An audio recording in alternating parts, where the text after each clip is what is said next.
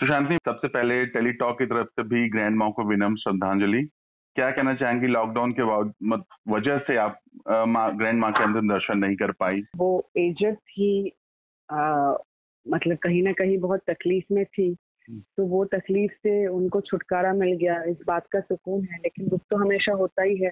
किसी को आखिरी बार के लिए आप गुड बाय नहीं बोल सकते हो आखिरी बार देख नहीं सकते हो। हम्म। मेरे ग्रैंड पेरेंट्स में से सबसे ज़्यादा उन्हीं के साथ बॉन्डिंग थी क्योंकि बाकी जो मेरे दादाजी और दादी जी थी वो मैं काफ़ी छोटी थी तब वो गुजर गए थे। हम्म। तो ज़्यादा उनके साथ वक्त नहीं बिता पाए लेकिन मेरी नानी के साथ सबसे ज़्यादा वक्त बिताया था मैंने। तो बहुत ही क्लोज थे हम। और मैं हमेशा बोलती थी मेरी एक ग्रैंड पेरेंट अभी भी है तो वो ग्रैंड पेरेंट्स बहुत स्पेशल होते हैं आपकी ज़िंदगी में। तो आखिरी बार उनसे ना मिल पाना उनका पैर ना छू पाना और मेरे से भी बुरा मुझे और ज़्यादा मेरी माँ के लिए लग रहा है क्योंकि मेरे मम्मी पापा भी लॉकडाउन के चलते मुंबई में फंस गए। हम्म। वो मार्च में मुझे मेरे भाई को विज़िट करने आए थे लेकिन वो अपनी कलकत्ता नहीं जा पाई। हम्म, तो मम्मी को तो और भी ज़्यादा दुख हो रहा है क्योंकि उनकी माँ है। उनका भी यही है कि आखिरी बार नहीं देख पाए। एक प्लस पॉइंट यही है कि टेक्नोलॉजी के चलते व्हाट्सएप के व्हाट्सएप वीडियो कॉल के आ, मतलब चलते सब कुछ ही मम्मी ने ऐसे वर्चुअली देखा जो भी उनके साथ जो भी जो भी प्रोसीजर्स है रिचुअल्स है। लेकिन फिर भी एक वो मन में तो रह ही जाता है कि एक आखिरी बार देख के अब अलविदा नहीं कह पाए। तो जब तक नानी कर पाई एक टाइम के बाद तो ऑब्वियसली एज एज हो गया तो नहीं कर पाते थे लेकिन जब तक वो कर पाई हमारे लिए खुद के हाथों से वो बना के देती तो बहुत ही अच्छी यादें हैं। एक एक होता ही है आपके बड़े आपके जब मम्मी पापा बोलिए या ग्रैंड पेरेंट्स उनका जो छाया आपके ऊपर रहता है उनका साथ रहता है एक अम्ब्रेला एक प्रोटेक्टिव फील हमेशा होता है कि घर का कोई बड़ा है जो भी सुख दुख हो आप उनके पास जाते हो उनसे बात करते हो। एक सिंपल वो अगर आपके सर पे हाथ फैला दे उसको भी बहुत सुकून मिलता है। जी। चलिए लॉकडाउन की बात हो रही है। आपने भी कल पीएम का संदेश सुना होगा लॉकडाउन बढ़ने के संकेत मिल चुके हैं। ऐसे में एज ए आर्टिस्ट आपसे जाना चाहेंगे कितना आर्थिक रूप से असर पड़ रहा है लाइफ पर? मुझे लगता है आर्थिक रूप से असर तो हर किसी पे पड़ रहा है। मतलब हर क्षेत्र में ही पड़ रहा है। किसी एक क्षेत्र में तो नहीं है, क्योंकि इकोनॉमी में बहुत बदलाव आया ही है। काम काज हर किसी का ही रुकता ही गया है। आ, तो और हमारी प्रोफेशन की अगर बात करें तो ऑब्वियसली बहुत चैलेंजिंग रहेगा। जैसे कि मेरा भाई है वो एक इंजीनियर है वो फिर भी वर्क फ्रॉम होम कर पा रहे हैं। हमारे प्रोफेशन में वो पॉसिबिलिटी नहीं है। एक आध शो या एक आध शॉर्ट फ़िल्म आप पहले ही घर में बैठ के शूट कर लो। लेकिन ओवरऑल इंडस्ट्री की अगर हम बात करें ओवरऑल इंडस्ट्री की स्टेबिलिटी की अगर बात करें तो बहुत चैलेंजिंग रहेगा क्योंकि ऐसे बहुत सारे मैं भी पढ़ती रहती हूँ कि यू नो इंडस्ट्री के लोग जो है जो भी हेड्स है, वो सारे लोग कोशिश कर रहे हैं डिफरेंट डिफरेंट तरीके अपनाने के, एक यूनिट का नंबर कम कर दे, पच्चीस, तीस जने के साथ ही करे, लेकिन फिर भी चैलेंजिंग तो रहेगा ही क्योंकि जैसे कि कल प्रधानमंत्री ने भी कहा कि ये लंबा बैटल है, ये वायरस तो बहुत जल्दी जाने वाला है नहीं तो हमें कहीं ना कहीं उसके साथ ही चलते हुए, अपने आप को प्रोटेक्ट करते हुए चलना है। ऐसे में शूटिंग कैसे हम कर पाएँगे वो बहुत चैलेंजिंग है क्योंकि आप लिमिट भी कर लो यूनिट का जो भी स्ट्रेंथ है लेकिन पच्चीस तीस जने फिर भी हो ही जाएँगे और फिर सोशल डिस्टेंसिंग मेंटेन करना बहुत ही मुश्किल है। हम्म। और उसके ऊपर अगर यू नो आप शूट करके रोज अपने घर आ रहे हो तो वो रिस्क फैक्टर और भी बढ़ जाता है क्योंकि आप अपने घर जा रहे हो दूसरा अपने घर जा रहे हैं तो वो बहुत ही कॉम्बिनेशन कॉम्बिनेशन बहुत कुछ है तो चैलेंजिंग होगा समझ मुझे खुद समझ में नहीं आ रहा है कैसे कब क्या स्टार्ट होगा शूटिंग हम्म। लेकिन शूट शुरू तो होना ही पड़ेगा क्योंकि काम की ज़रूरत तो हर किसी को है आपके हम्म। पास पैसे हो ना हो इरेस्पेक्टिव काम तो हर किसी को करना ही है हम्म। एक दो महीने अपनी छुट्टी मना ली उसके बाद हर किसी को काम में वापस जाना ही है हम्म। और जो लोग डेली वेज अर्नर्स हैं उनके लिए तो और मेरा दिल यू नो उनके लिए और फील करती हूँ मैं जैसे हमारे स्पॉट दादा हो गए टेक्नीशियंस हो गए जो बेसिकली मतलब एवरी डे ब्रेड अर्नर्स है उनके लिए बहुत ही मुश्किल रहा रह रहा अभी मुश्किल ही हो रहा होगा। और उसमें से काफ़ी सारे लोग ऐसे भी हैं जो मुंबई के नहीं है क्योंकि हम्म। हमारी फ़ील्ड में बहुत सारे लोग देश भर के अलग अलग जगह से आते हैं। अब वो लोग वापस जा रहे हैं अपने जगह की मुंबई में ही हैं। चेंजेस आने वाले शुरू भी हो चुके हैं। जैसे बहुत सारे शो बंद हो रहे हैं आपने भी सुना होगा। तो ये कोरोना का मार का ही असर पड़ रहा है कि शो ऑफ़ एयर जा रहे हैं। जी। तो वो तो होगा क्योंकि देखिए पहले भी एक बार मुझे याद है 2009 में या कुछ एक ब्लैकआउट जैसा हुआ था हमारी इंडस्ट्री में एक डेढ़ महीने के लिए शोज़ रीरन हो रहे थे हम्म। तो ये तो बिज़नेस है कि शो नहीं चलेगा तो ब्रॉडकास्टर्स को मतलब वट एवर हम्म। उनका बिज़नेस शो चलने से ही चलता है ब्रॉडकास्टर्स हम्म। का बिज़नेस चलेगा तब जाके शोज़ नए बनेंगे। अब प्रॉब्लम ये है कोरोना के चलते इतना लंबा अगर गैप हो गया उसमें से अनफॉर्चुनेटली जो जो शोज़ शायद उतने अच्छे समझ लीजिए उस पॉइंट पे नहीं कर रहे थे या जो जो शोज़ ऑलमोस्ट खत्म होने वाले के कगार पे थे जैसे हम्म। मैंने बेहद के बारे में पढ़ा कि वो ऑलमोस्ट जून में खत्म होने वाला ही था। हम्म, तो ऐसे में ब्रेक अगर हो गया तो काफ़ी सारे शोज़ को ऑफ़र कर कर दिया गया because it is a business call ultimately broadcasters को भी अपना बिज़नेस देखना ही पड़ेगा। तो. जैसे कि मैंने कहा बहुत सारे चेंजेस आ गए अब जब शूटिंग रिज्यूम भी होगी कितने शोज़ आएँगे नए शोज़ कब बनेंगे? हमने एक और वेव देखा कि पुराने शोज़ रीरन हो रहे हैं महाभारत हाँ। वगैरह और वो काफ़ी अच्छे टीआरपी दे रहे हैं। वर्ल्ड तो रिकॉर्ड बना रहे हैं। हाँ तो वो एक अच्छी बात भी है ब्रॉडकास्टर के लिए लेकिन डरावनी ये भी बात है कि फिर कहीं ऐसा ना हो कि उनको ये लगने लगे कि हम रीरा नहीं करें नए शोज़ को सीमित कर दें। हम क्यों ज़्यादा पैसा नए शोज़ में डालें? तो बहुत सारी चीज़ें बदल बदलने वाली है। अब वो क्या होगा हमें नहीं पता वो तो वक्त के साथ ही पता चलेगा।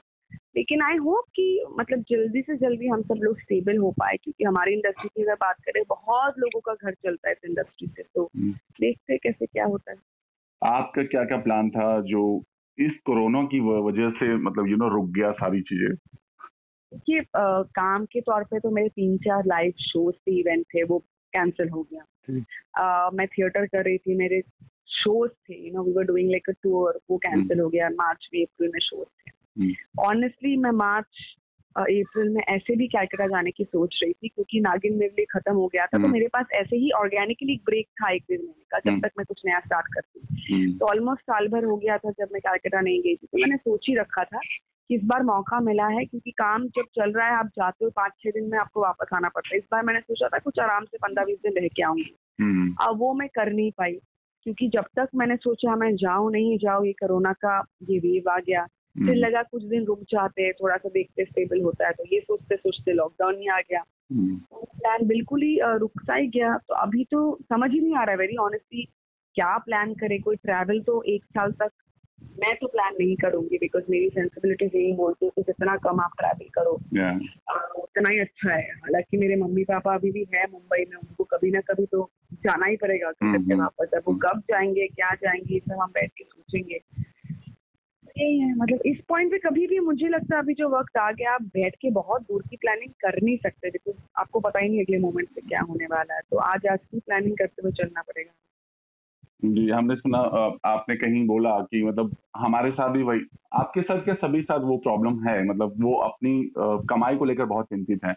तो। ऐसे में क्या कहना चाहेंगे सैंटनी और मैंने जो बोला था मैंने कुछ और बोला था वो कुछ और ही छप रहा है चारों तरफ़। मैंने कुछ और बोला और वो हेडलाइंस कुछ और ही बन रहा है। अच्छा, मुझे पूछा गया आपको फाइनेंशियल प्रॉब्लम हो रही है नहीं? मैंने बोला हर किसी को हो रही होगी जैसे मैंने obvious, आपको बोला कि आप बहुत अमीर भी क्यों ना हो? लेकिन. अल्टीमेटली सच्चाई तो यही है की आज के दिन में आप अपनी सेविंग्स ही खा रहे हो क्योंकि आपके पास इनकम तो कुछ है नहीं। गिने चुने लोग छोड़ के जैसे की मैंने अपने भाई का एग्ज़ाम्पल दिया जो। वर्क फ्रॉम होम कर रहे हैं मैं मेजोरिटी की बात कर रही।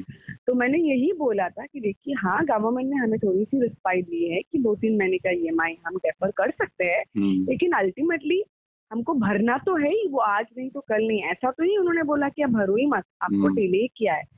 आपको कहीं- भरना है विद पेनल्टी यस तो आपको कहीं ना कहीं इनकम तो ज़रूरी है। जी। तो मैंने यही बोला तो ये एक इनसिक्योरिटी ये एक टेंशन हर किसी के दिमाग में है।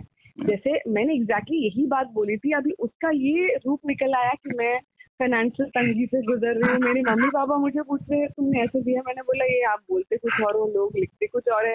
हालाँकि आर्टिकल में लिखा वही है लेकिन हेडलाइन. उन्होंने जैसे मैंने कहा देखिए नागिन मेरे लिए रैप अप हुआ था। किसी भी शो के एंड होने के बाद एक दो महीने का ब्रेक हम ऐसे ही लेते हैं। एक महीने हम थोड़ा सा खुद को you know whatever we take some time for our self उसके बाद एक महीने के बाद आप सोचते हो मीटिंग्स करना चालू करते हो तो रियलिस्टिकली स्पीकिंग तीसरे या चौथे महीने में जाके कुछ काम होता है।